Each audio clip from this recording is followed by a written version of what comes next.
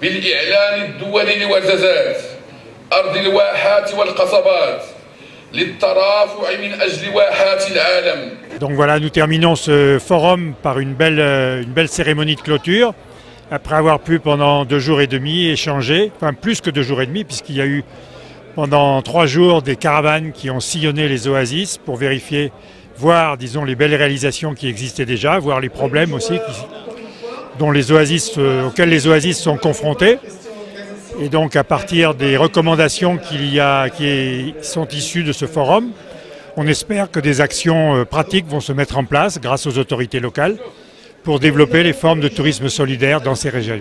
أهم التوصيات الواردة في إعلان ورزازات. أولا خلق الاعتراف بالواحات كتراث طبيعي وثقافي للإنسانية. ثانيا خلق صندوق دولي لدعم برامج الحفاظ على الواحات وتشجيع السياحة التضامنية.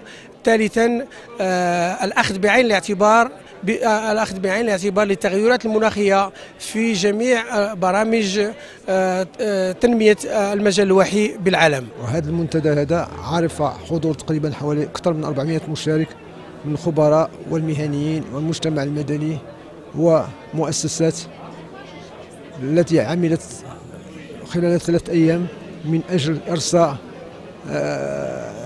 السياسة يمكن أن تلعب دور أساسي في الحفاظ على المجال الواحي وجعله يتبوأ مكانه في تسويق المنتوج السياحة التضامنية والسياحة المستدامة. وخرجوا بإعلان ورزازات المهم الذي سيكون لبنة جديدة لجعل هذا المنتوج السياحي ديال السياحة التضامنية منتوج فريد وغني يمكنه إغناء المنتوج السياحي في المجال الوحي على الصعيد الدولي.